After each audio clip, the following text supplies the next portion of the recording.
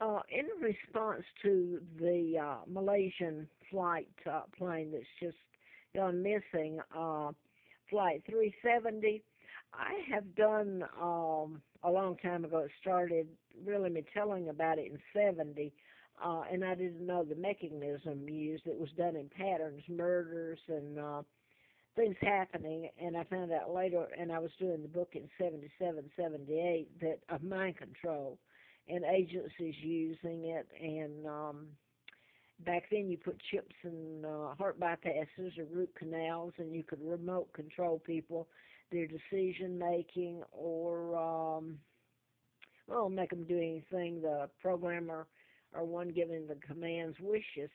Uh, over the years, I mean, it's um, a murder weapon that you can do anything with. So I don't want to show the shamrock here.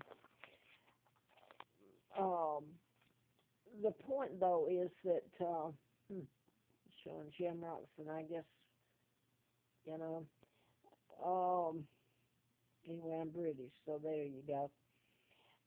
But the uh, I don't know that the Malaysian flight, uh, if that was done in mind control, it's done at a high level and in patterns. All of it, and a lot of the planes um, have been done in patterns. You can take uh, program the pilot to fly into the ocean or um, do anything, come out shooting, or just like it's a joke to put a air marshal on the plane because he can be programmed to shoot you. You can um, throw a jury the outcome by getting to the judge. You're getting to his brain without him knowing it, or the juror, or the witness. So you can control the verdict. Um, so the I don't know. The only thing I see so far, other than a lot of the planes, the things that have happened, have been done with mind control, and they're not going to tell it unless they're forced to, because people wouldn't want to get on a plane. They um, there's a lot of things they wouldn't wouldn't want to do. Get behind the wheel of their car because you can make them go into the ocean and drown in the river. So anyway, uh, back to this one. The only thing I see in in alone that doesn't mean anything. The kid really means a lot, and I don't even know what's happening with it other than it was sent.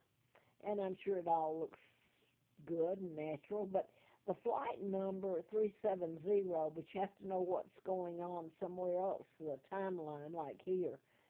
Uh, the 7 is turned into 73 backwards and the 0. Uh, so I don't know. Uh, Larry McDonald, uh, the plane he was on, I wrote about him in a medical malpractice book. And uh, had antifreeze put in me so it didn't get published, and it wasn't a joke about it, April Fool Day of 80 and I got a letter from the FBI, no doubt, June the 23rd of 79, of NSA being involved and uh, national security involved, ongoing investigation. So anyway, uh, back to the Malaysian flight. The flight number means something to me very much, but I, I can't say that that's a mind control, but they're zeroing in on the the um, pilots and you know, if they were under mind control, or just one of them, that's all it takes. It's very sad because they're accused of crimes they didn't do. Uh, so I'm, I don't know.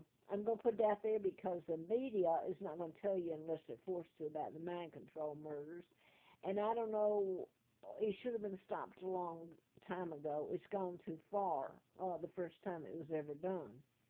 Um, and I'll say this MK Ultra was pulled before Congress in 53, I believe it was, and slapped on the wrist. And everybody pretends they don't even know anything about mind control. They don't believe in it, uh, et cetera, et cetera. So I'm going to leave it at that. Um, I don't know if it was used, but my thoughts would be that it was.